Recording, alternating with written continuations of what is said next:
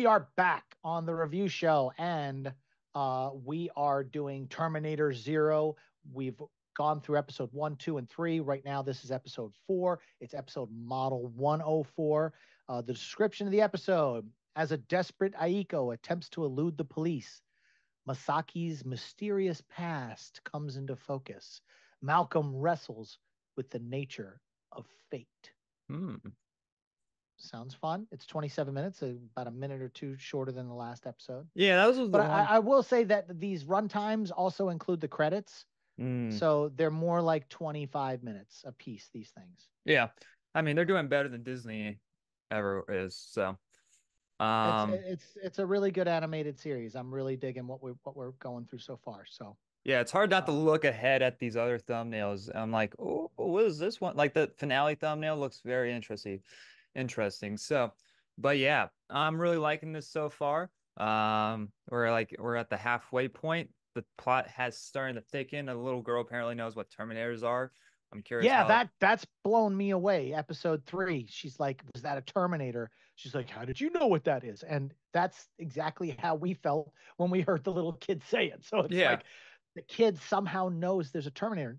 You know, what does that mean? Does that mean the kids were sent back in time? They know what's going on, or I think Or- they I, I think they know about the first two films. I think they know what happened. I, I think this guy, uh, this professor, I think he worked at Cyberdyne. And when he saw what was coming and heard all about the original two, two Terminators, or maybe what if he's in an he was in an insane asylum and he talked to Sarah Connor. And none of this is real and he's, and he's actually just Dude, insane. if none of this is real at the end, dude, that's gonna be such a mind fuck. I think but I would be here we are. mad. I don't know if I like I think I No, would- no, dude, I would love that. If this was just some crazy dude in a sane asylum that heard Sarah Connor talking, oh my god, that would be brilliant. I you know, I'm never real I never really am on Netflix a lot. I don't watch a lot of their stuff. I watch Co- the new part of. It was so bad. Dude, we we we we I just subscribed back to Netflix just to watch this series with you. That says a lot about Netflix. This is that CGI kind of like you you said it's like a mix of CGI and animation. Yeah. Hey, those cars are not actually on the road. that looked a little weird.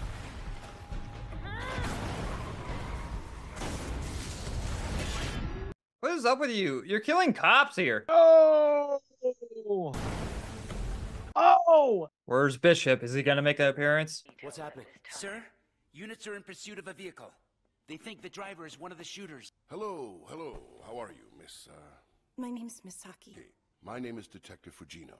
This is Detective Shiraki. We're gonna have another police scene. Yeah, it's going to be another police shootout. Ah, that's what they said in the first Terminator. We've got 40 police officers in here. There's They're no dead. place safer than you need to be. Oh, here he comes in the police motorcycle cop. Here he is. Then there was an accident. And then there was. Ew! Don't do that. That's gross. I don't like that. Stop it. She's going to have a flashback to the subway thing. The woman, she shot the man. And you're saying that she killed him. He isn't human. Are you telling me it was an Eno? Something worse. It was a sex robot.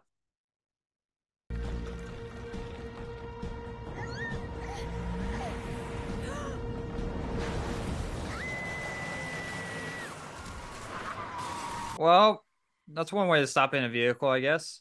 Is that how they do it in Japan? They just throw a big metal in the road? I guess they do. She's really banged up, man. She's not she's not going to survive this thing unless they give her time to heal. I'm curious if she will even make it towards the end of the, of this, like to aren't like the final episode or anything like that. What is it? Have you finally found Mr. Lee? Or Reika? You're a robot. Uh, she's schizophrenic. She's like mentally deranged. All your information. What do you mean? What information? It's a standard procedure when someone comes in. But your files were a little unusual.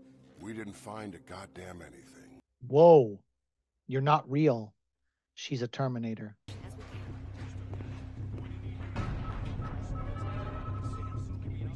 Oh, here we go. T1000 in action. Uh oh. Oh, Ah! Oh, dude, he killed everyone with fuck construction nails. You got to start counting bullets. He's got six in each one before he has to reload. Yep, see, he's out. See, like one hit to them, they're dead, but not like, you know, the kid. Right, right, yeah. Bye, Bishop oh. 2.0. Bishop 2.0, that's exactly right. Oh, he's still alive. Not anymore. He's gonna No, step that- on. Hey, That's uh, uh, uh, robot, Uh, no, uh, robot, he's uh, gonna robot. pull the skin off, and it's a robot. I knew it. Dude, he's still alive. Come on, Bishop. Oh, that's it. Probably the bat most badass character in this whole entire thing. Bishop was Lance Henriksen's character in Aliens, which I love that you keep calling him Bishop. That's great. Bishop oh. 2.0. I just don't know his uh, character's name in Terminator. Whoever's calling me is gonna get fired. I'm sorry to interrupt, sir, but a call just came in that I thought you'd want to take.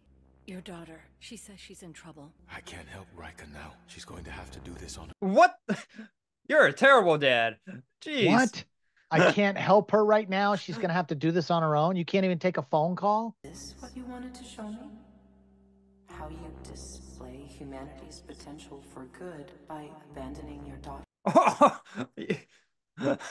Oh, she called him out. You asked me before if that man was a Terminator. Sometimes my dad talks in his sleep, and Terminator is one of the words he screams. So one morning after a nightmare, I asked him what a Terminator was. He said that it's a cyborg, and that in the future, they'll hunt people down and kill them. this dad's really traumatizing his own kids. Jesus. Yeah, he is. Everyone stay back. If anyone comes in here, I'll kill her. Wait, hold on. I think there's better threats to use than killing a kid. Um, Stay out of here. I'll kill the kid. ow. This is why you should not use the uh, threat of like I'll kill her. I'll kill the kid. I swear to God.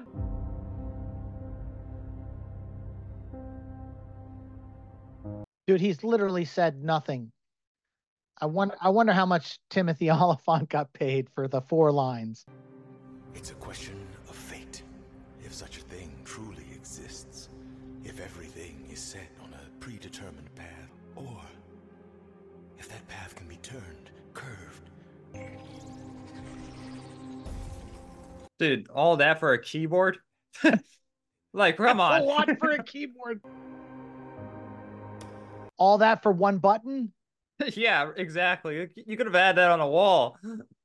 Well, now we're in the Matrix. Can't. How do you? How do you stop those from? They're already in the. They're already heading down. Yeah.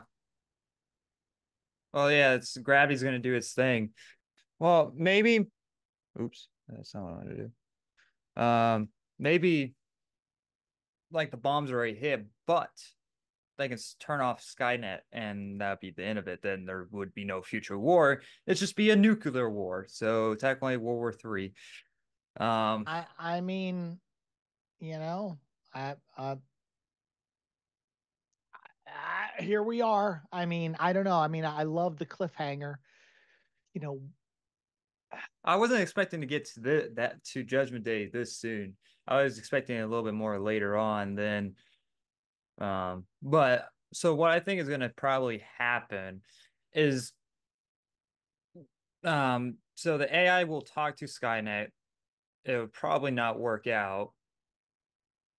Um Skynet would be like, "Ah, screw you." I don't, I don't know. Um I don't know. I don't know. or this could be a completely one-off and like this is just a one of those timelines where skynet doesn't go into a future war that could be a situation but i'm trying to connect this to all the other ones. So and that's Yeah, that's and- my and I- issue. And that's the problem because like she even said it in this episode like the americans have already started on their end doing what they're doing and launching.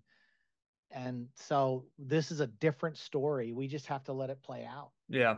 It's it's So- it's continue it's continuing the story but it's also being its own thing unlike ter- all the other terminators i just want to know how the kids knew i mean it was explained that it was the nightmares yeah but what i want to know is How how, did he get it? guy, how does malcolm get nightmares which is literally everything playing out. The only Yeah. reason why Sarah Connor had nightmares was It's because she Kyle. was told Yeah. by Kyle what was going to happen. This guy, how did this guy know all this stuff was going to happen? If that if that never gets answered, then that's going to be probably the biggest complaint of this show. Is like, how does this guy know about all this? And it ha- he has to be connected to either Skynet itself or, or uh, like you said, he was in a insane asylum with, Yeah, with Sarah Connor. it's either So, that or or he literally like worked for Sky like Cyberdyne Systems. yeah, like he worked for them, you know, like and then broke off and wanted to do his own thing when he saw how, how what where they were going with it. yeah, and they didn't want to change course, but he was trying to stop it.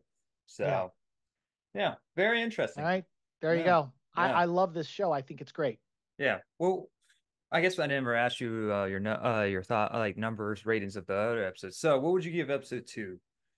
As Episode. I mean, I I give all these about an eight. Okay. Not, n- none of them have hit a ten and knocked it out of the park, but the creativity behind being in Japan and not being able to have weapons and and every like I really enjoy what's going on. The side story with the children, I it's a you know, I little iffy. Um, I mean, it ne- it needed something else. You know, it's kind of Yeah. like um, uh, uh, it's like uh, the Kenobi series, if you will, where like you had to have another story going on along. no, you did story. not. I mean, it, I mean, well, that's how the writers are thinking. It's like we can't Yeah. just make it like about this Terminator and this person and this guy and this AI. We got to have kids. We've got to have this other motivation. But and I get it. I get it. Does it need it? I don't know. Yeah. We still have to let it play out. No, we still have to let it play out, but the kids feel very lacking right now. And literally, you could have probably, you know, this would have been a cool idea if, like, we don't know, any, like, it's not from it, the past perspective; it's all from the future's perspective. And if the girl goes in the past, and we all and we follow through it through her perspective, trying to get to the father, that would have been interesting. I think. I and I still think that we need to kill a kid. Like there's got to be Yeah. some sort of sacrifice. Like and and now we like what's the mystery behind the the one that got her arm ripped off? Yeah, well, the like- one that's and she has no history. Was she built by Malcolm? or from a forgotten he- timeline, like in Terminator Genisys with um Sarah I, I, I think he built her as a protector.